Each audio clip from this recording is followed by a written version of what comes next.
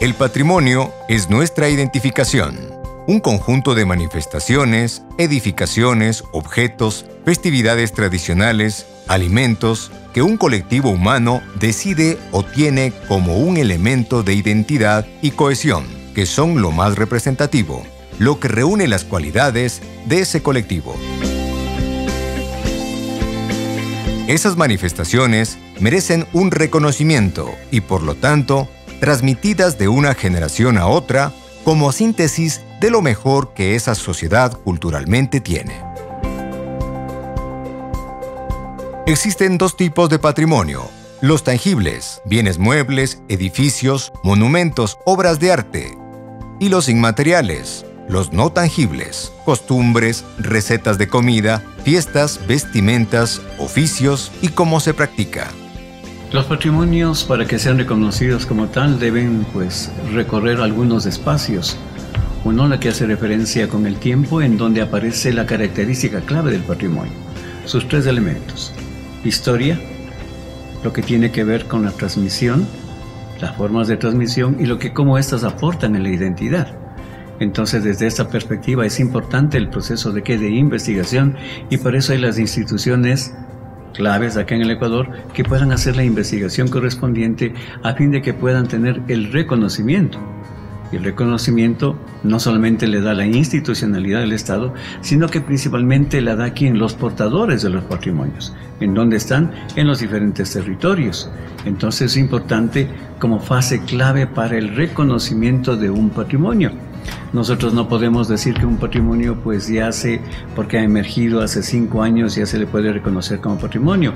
De acuerdo a lo que nos muestra la institucionalidad, dice que debe tener por lo menos 30 años de existencia y que la comunidad ya pueda ser apropiada y reconocerlo como tal. Es un, importante, un factor importante para el reconocimiento del patrimonio. Los ciudadanos tenemos la responsabilidad, en cambio, que de cuidar y de potenciar nuestros patrimonios. Y como bien mencioné, es el hecho de que de vivir nuestro patrimonio. Y para esto es importante la comunicación, el uso y el disfrute de los mismos. El patrimonio cultural tiene una relación muy profunda con la historia. La historia depende de la memoria que tengamos como individuos o como grupo social. Y la memoria es un elemento muy frágil uno de los elementos que contribuye a no olvidar las cosas es el patrimonio cultural.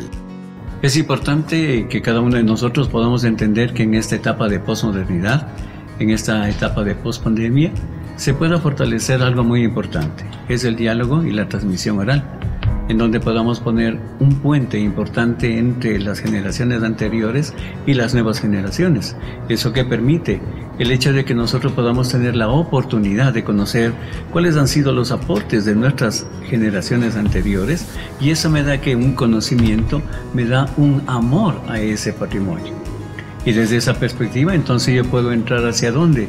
Hacia el hecho de poder cuidar aquellas cosas que mis antecesores lo lograron. En el caso de la fábrica Imbabura, estamos hablando de un proceso desde 1924 hasta 1997.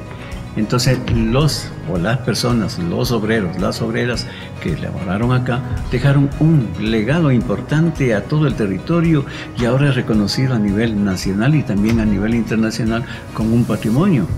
La responsabilidad entonces viene en el sentido de que de conocer, cuidarle, aumentar todo lo que tiene que ver con las oportunidades que tiene este patrimonio. Por ejemplo, acá en la fábrica Imbabura se ha aumentado, se ha incrementado este patrimonio mediante ofertas artísticas y culturales que se realizan dentro del espacio patrimonial. Y esto es muy importante para que la ciudadanía pues pueda conocer, pueda participar, pueda contribuir para qué? Para cuidar y también para fortalecer estos patrimonios. La cultura, los individuos y las sociedades atesoran sus patrimonios y los cuidan, pensando en el futuro y en el pasado que provienen. El mensaje que tenemos es el hecho de que cada uno de nosotros como ecuatorianos y ecuatorianas estamos formando cotidianamente nuestra identidad. Y desde esa perspectiva, el Complejo Cultural Fábrica Imbabura es un gran espacio para conocer cuáles han sido los legados que se han dejado acá. Organización social, trabajo comunitario, compañerismo, alegría, creatividad.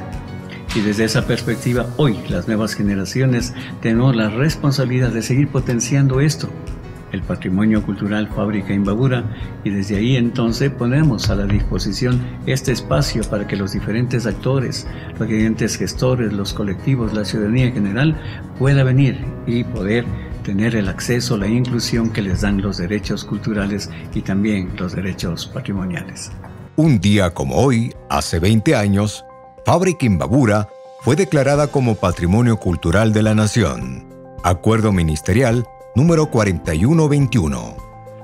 En la actualidad, Fábrica Imbabura es un complejo cultural administrado por el Ministerio de Cultura y Patrimonio del Ecuador con una extensión de 4.3 hectáreas. Posee un museo con tres salas, época aborigen, industrial textil y sindicalismo. Además, cuenta con uno de los teatros referente en la Sierra Norte con capacidad para 437 personas. Le invitamos a vivir la experiencia Fábrica Imbabura. Juntos hacemos patrimonio.